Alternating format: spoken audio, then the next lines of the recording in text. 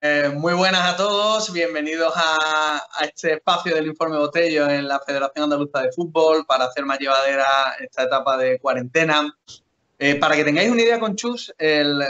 lo puso el fútbol en mi camino en una jornada en Granada hace ya bastante tiempo y en él vi yo que se juntaban distintos factores, el factor espectacular de la formación, el de la humildad y luego el que reunía en sí mismo tanto los perfiles de analistas como de segundo entrenador, como cuerpo técnico y sobre todo una humanidad y un don de gente espectacular. Esa amistad, bueno, pues llevó a, que se publicase parte de, esa ponencia en el libro de Scouting Deportivo y la vida al final, pues bueno, ha hecho que sigamos manteniendo una amistad que, yo creo que, que, es magnífica y que os podéis beneficiar todos de su ponencia. De hecho, ha aceptado inmediatamente el ofrecimiento de la federación para estar hoy en esta tertulia y sin más preámbulos, paso a, saludarte. Bueno, Chus, muchas gracias, tío. ¿Cómo estás? Bueno, pues nada, Jesús, muchas gracias a ti. Y, nada, lo primero, mandar un mensaje de, ánimo, de apoyo a, todos los andaluces, a todos los españoles, a todo el mundo en general, porque es una situación única en el planeta y, seguro que, entre todos pues la superaremos, la sobrellevarla de la mejor manera posible y, intentar, pues, con esta, este tipo de cosas, este tipo de charlas, pues, intentar pasar un rato más ameno y, y por lo menos dentro de, que estamos en casa y tal, pues, intentar ir mejorando con, lo que podemos relacionar con el fútbol, que, al final es compartir experiencia, compartir eh, mis impresiones y compartirlo con la gente y, ojalá pueda servir de algo. Y, ya pues fue todo muy rápido, la verdad, porque fue de pasar de estar en, en juveniles a de pronto irme a Grecia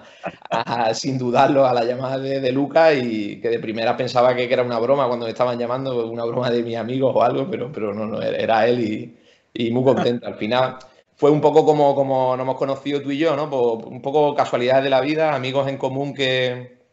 que le hablaron a, a Lucas de mí y,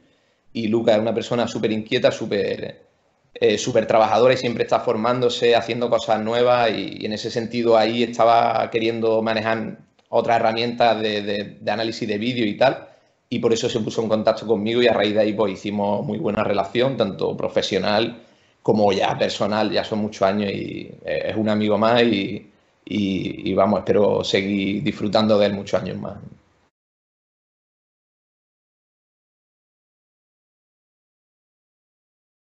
Bueno, lo primero, antes que nada, es que eh, quiero que la, gente sepa que tú eres un profesional hecho a, ti mismo, sin ningún tipo de,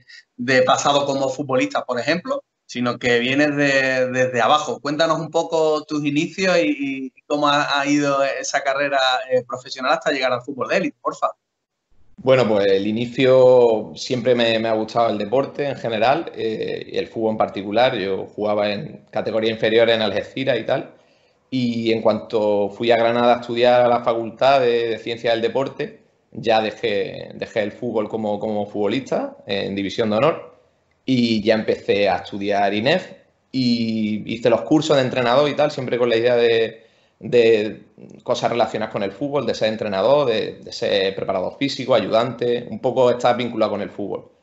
Y bueno, surgió la, ahí la oportunidad de, trabajar en distintas canteras en Granada y ahí conocí a Alberto González con el, con el entrenador que, que empecé que empecé pues desde juveniles hacia arriba, fuimos subiendo hasta tercera división y la verdad que muy contento.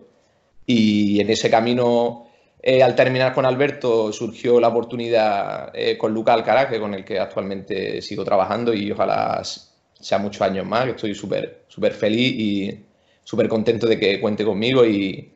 y, me aporta muchísimo y, espero que yo seguir poder, aportándole a él. Eh, la verdad que los inicios yo creo como todos pues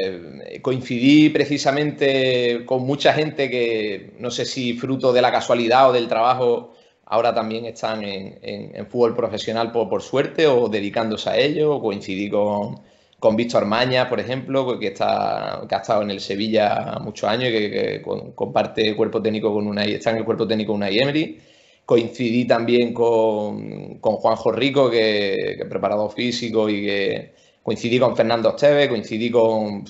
mucha gente, con mucha gente que ha, llegado al fútbol profesional, con, Oscar Cano, con, eh, con Diego Martínez. Eh, la verdad que hemos, hemos, tenido un grupo en Granada, yo creo que, que el núcleo de, de, la Facultad de Granada ha hecho también que, que salgan muchos profesionales de allí. Eh, con Oscar el actual preparador físico, de, fuimos compañeros en Málaga, en la cantera y después en el filial. O sea que